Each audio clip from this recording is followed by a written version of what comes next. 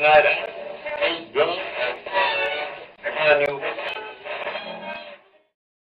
better have my money. Bitch better have my money. All right, all right, all right, all right. Bitch better have my money. Oh, you gonna learn today. Bitch better have my money. Mello on the mic. You better have my money. I'm the shit like poo when it smells like honey. Uh-huh. You RosewoodRadio.com, uh-huh. broadcasting all the way live, All man, live. from Rosewood Barbershop, Buena Park, man. This is how we do it, man. Come over here, get your hair cut. So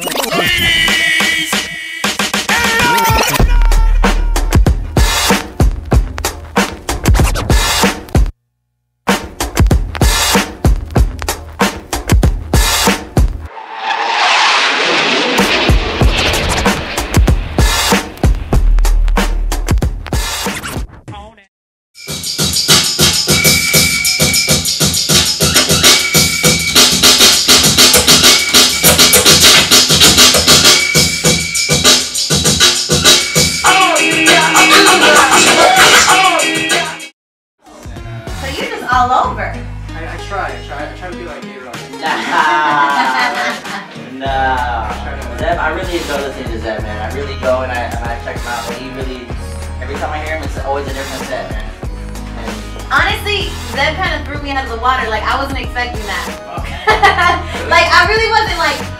I'm not gonna say like, oh, I was expecting something. I was this, that, like something in particular, but I wasn't expecting NWA to be, you know, his first song. Yeah, I yeah, really yeah. wasn't. No, because uh, me and Mark were just like, oh, we should do like a way tribute or The whatever. wordplay. Hell type. yeah. That's man. That's ill, Super man. dope, super dope. Got the homegirl Mello in the building. What up, what up? What up, girl? What's going on? Let down that way.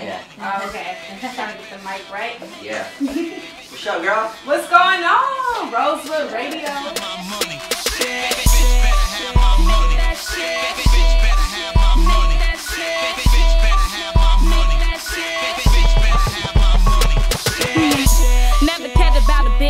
If she come without my money, then I just might give a shit. I know Karma Sutra. I wanna hear it now. Better hope your name Lucia. You can check me out on YouTube if you want to see the videos. That's M3LL0 Music, Mello Music, or you can. As I roll up the Compton blocks, the scoop up ran, I heard shots. One, two, three. Then I seen a nigga hopping the fence and it was ran on the motherfucking trigger. He got in the bins and So, the food truck, NWA. You guys obviously are hip hop. Yeah. We try to keep it that way. You try to keep it, try to keep it funky. you Yeah, know. yeah. How long have you had the truck? Like, how how did this even come about? Um, my, my family's been in the teriyaki business for a Okay. while. And uh, my parents to have a restaurant. And um, growing up, kind of grew up in the kitchen and figured food trucks started popping up. Motherfucking police, cause they swear that they lock down and them kick him in his motherfucking ball. Goddamn police, fuck them.